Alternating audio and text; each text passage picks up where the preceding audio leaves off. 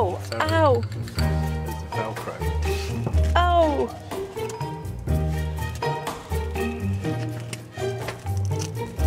Oh, bloody hell. Only a little bit. There you go. Ready? Yeah.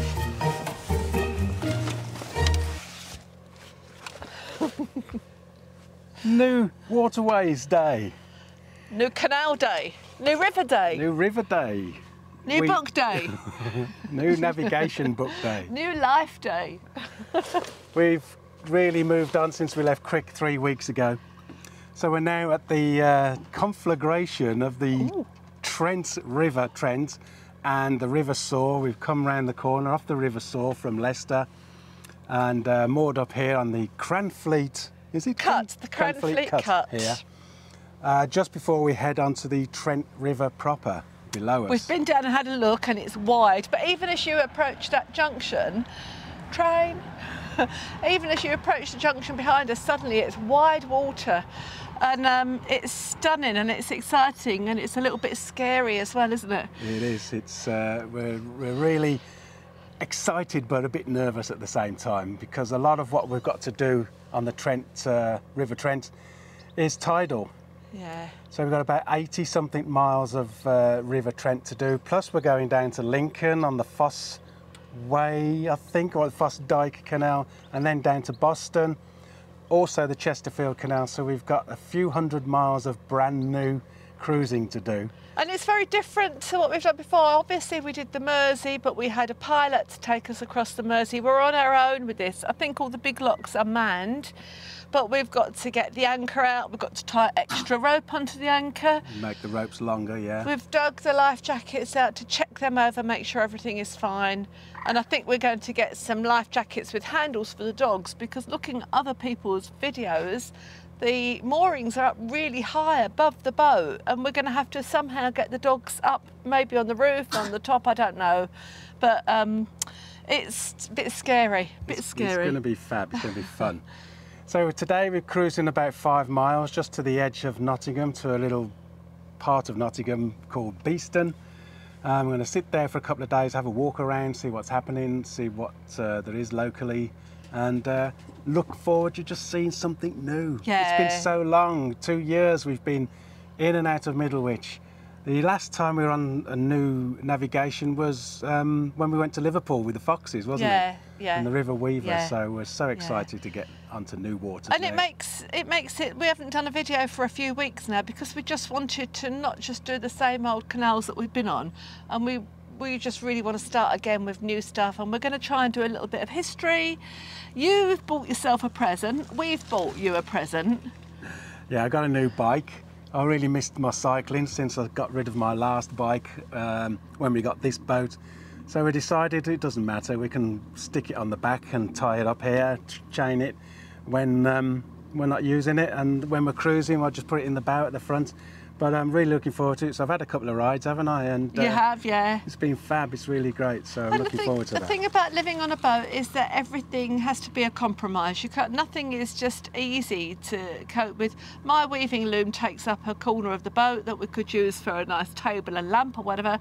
And if the bike has to sit here and we've got to walk round it, it's no big So deal, is big, it? And yeah. it just means when we're cruising, we've got to take a little bit longer to prepare to go. But we've got all the time in the world. It's a full size mountain bike, 27 and a half inch wheels.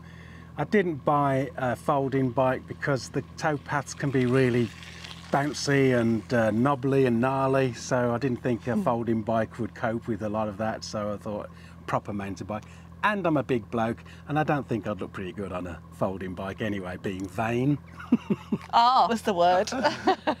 Oh, come on, let's go. Matey boy in front of us has put his engine on just as we press the record button, but uh, a, a boat has just gone past, so hopefully that lock, lock will will be be still full, ready for us. So we've got to fill it with water first, so let's get going. off we go. This has been our entertainment for the last couple of days while we've been moored here. This moorhen has chosen this sunken barge with a tyre in it to make a nest, and they've got the babies chirping around in there. And all we keep hearing is cheep, cheep, cheep, splosh as mum or dad jump off the side of the boat, go and get some food, and then have to walk the whole length of the boat to get back on with their food. hours of endless entertainment. Not only is it New Waterways Day, but it's New Waterways book. Look at this, a new navigational guide. Book number six, Nottingham, York and the North East. And you compare that to the one we've just finished using. It's all dog-eared, it's been rained on. It's going to be a real pleasure to use this nice shiny new one.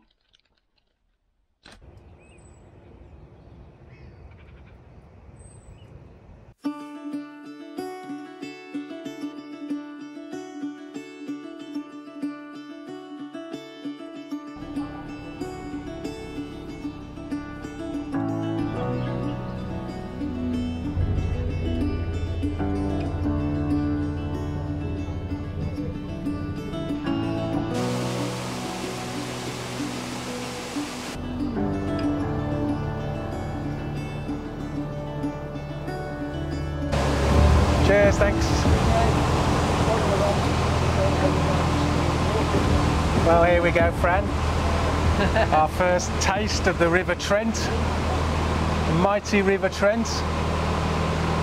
So it's just about four miles, is it, on this little stretch Four, to Beeston, five. I think. Yeah. Already we've got signs of weirs and keep on this side and you have to keep your wits about you, don't you?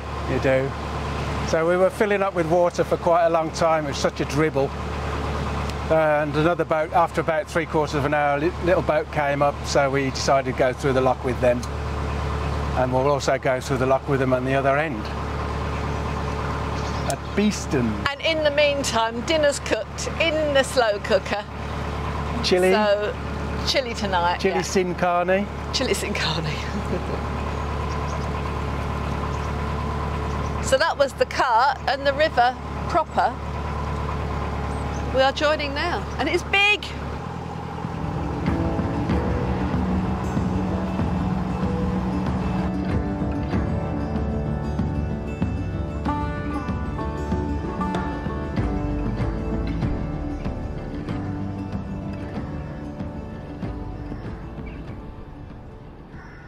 You might have already spotted the lovely addition to our boat, the wonderful Buckby can with our name painted on it, Laura Maisie, by the wonderful Kay's Canal Craft. Yeah, we moored up near her at uh, Foxhall Locks. Foxton Locks. Foxton, Foxton, Foxton. We're out of practice, Locks. folks.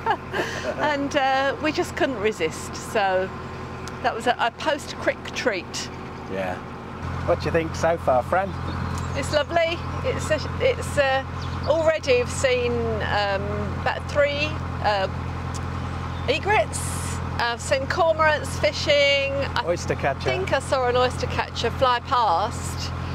Um, so already within 15 minutes of being on the river, it's so different. It's Beautiful though, isn't it? and some fabulous little riverside lodges um, up on quite big stilts, probably 20 foot high um, mooring poles, would you call them, for flood conditions. So obviously floods quite high this river. But at the moment, it's the lowest that people have seen it for a long, long while. The water is really low. So our only worry is um, avoiding obstacles on the edges at the moment. We haven't had that much rain, have we, in the last couple of months No. or so? So we've been No. lucky. Hopefully, fingers crossed, it'll stay like this until we get off the tidal Trent. You've said it now.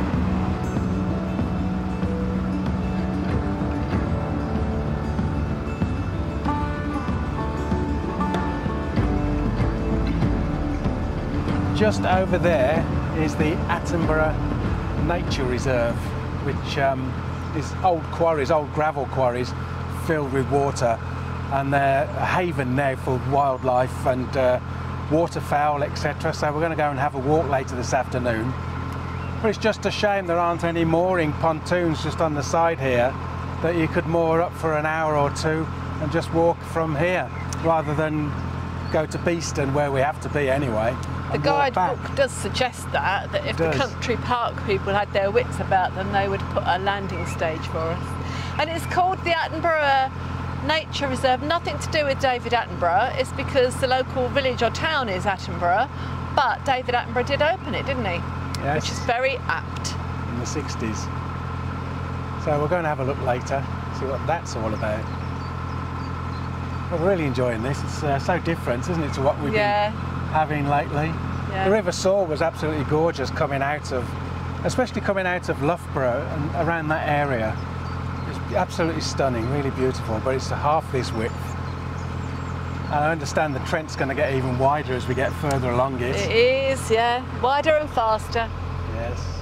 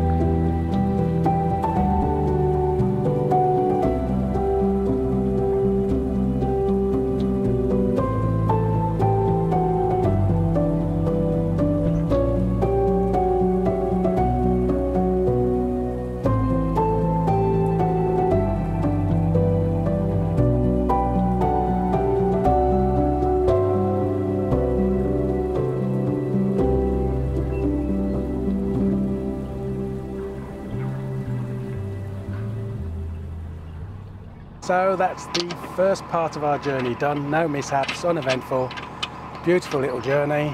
We've come through Beeston Lock here, and the first thing we've done is pulled up on the water point because the water point at Cranfleet Cutting where we stayed just was bloody awful. it's just a trickle. So we're topping the tank up here and then we'll go and find somewhere to moor.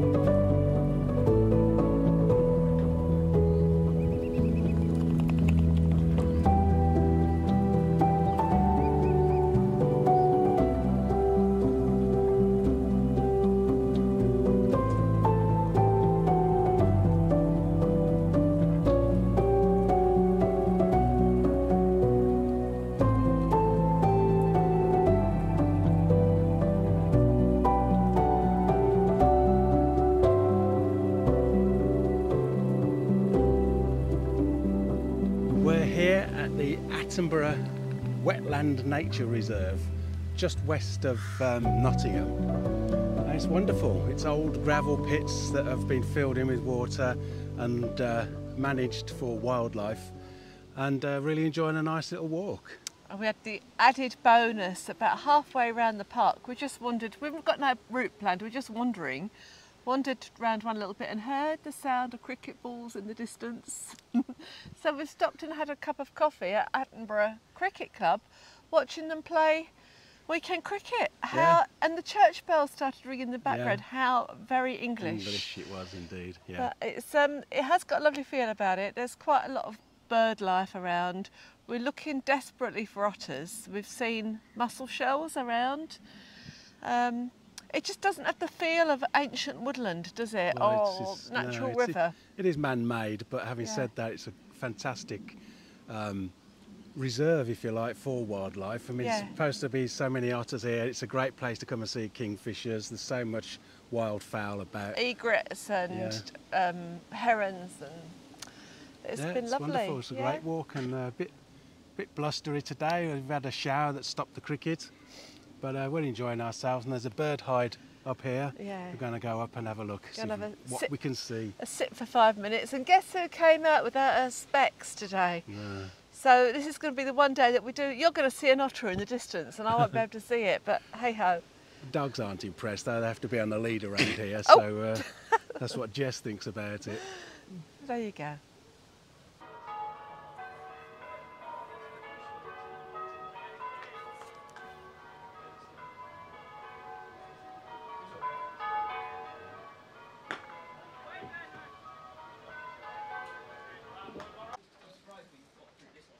Stop play. A Bit of blue sky coming over there.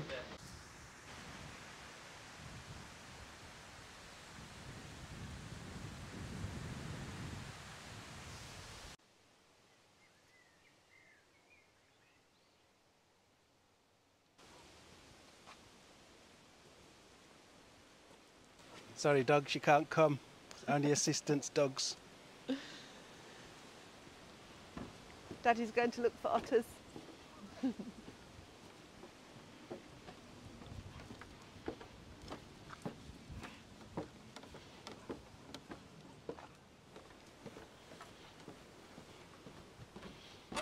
I saw six otters. Did you? Yeah. Three flamingos and an alligator.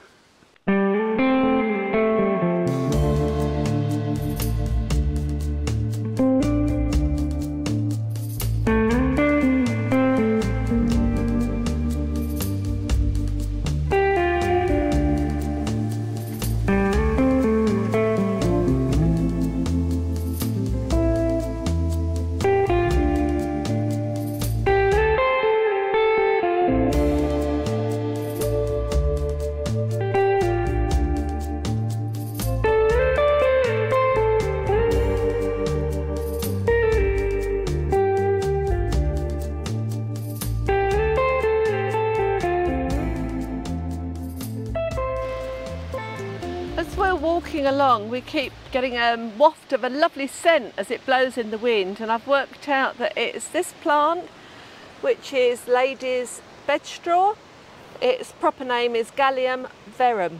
Really strongly scented, and they used to pick it back in medieval times to make mattresses for ladies or for anybody, but particularly for women in labour, um, because it was supposed to help with giving childbirth. So I used to add it to a straw mattress. I used to add it to a straw mattress because it's really lovely scent anyway. Um, and it's also uh, used, it's got, oh, I can't think of the name of the property in it, but it curdles milk. So it's a rennet, Rennet, substitute. Um, and it is what gives double Gloucester cheese its yellow colour, if you want to use it. I don't think it's used anymore. Um, and it's also can be used as a dye. So I have got still some undyed sheep's wool I just need to see if I need anything else, and if I don't, I might pick some and try dyeing the sheep's wool what I've got with that I've got. But I won't do that until I know that I've got everything else. I wouldn't pick it unless I know I can use it. But really lovely scent.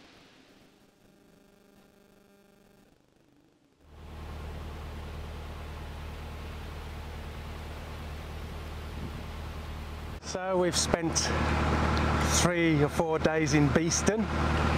Not sure actually if we were supposed to be there for just 48 hours, but the, Ambiguous. it was ambiguous. Because the mooring sign for two days suddenly stopped. There was no end to it, and we'd moored quite a long way along. And there were boats that have been there. They've got tickets on that have been there for looks like years. Years. So we took advantage of the ambiguity. We thought three days, no one's going to um, lock us up for having an extra day if it wasn't allowed, but it was weird. So. Yeah, it was nice and quiet and we enjoyed it Yeah. there. So now we're heading into Nottingham. Um, don't know where to moor up, we don't know. We've had a look at the map, but uh, we'll sort it out when we get there. Uh, looks really interesting. Nottingham looks like it's got so much to see and do. And once again, we don't know at this point how long the moorings are for, whether you, it's only 24 hours or two days. So we might have to pack everything in. We could get buses and trains back in if we want to do more, Yeah, can't we? we can do. Um, but you know what we're like, like two days in the city, and we'll be um, wanting to get our toes in fresh grass again. Who knows what we're going to do? So we hope you've enjoyed this little episode. We'll catch up with us next week when we'll show you around Nottingham. Yep. See you soon. Thanks a lot. Take care.